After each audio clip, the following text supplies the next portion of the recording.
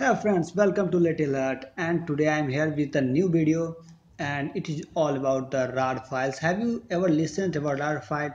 Of course you have many of the listened, some of them not listened. Now I will show you how to unrar it. Just go to the Play Store, search for unrar and this will menu appear. Now open the easy unrar and zip and zip file. Now after completed installation uh, I have already downloaded it so I do not need to do installing. Okay now let's open this and just search for the file.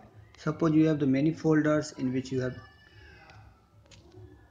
placed the RAR files and just you need to search for that.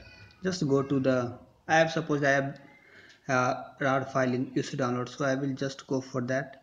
Suppose Dragon Ball Z RAR I will just click on that and click on extract. You can do extraction here or you will check another options. Okay. Just I will give it a name. Other. You can replace the name. Cancel. Extract.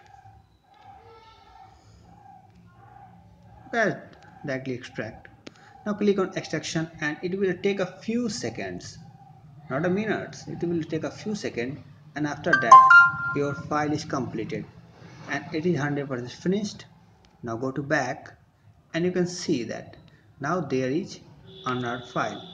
And for this you can check it down below. Just go for user downloads and you can see the RAR file is here and the unzipped file is here. Okay so if you like this video please give a huge thumbs up. Please do not forget to like and subscribe our channel. Thank you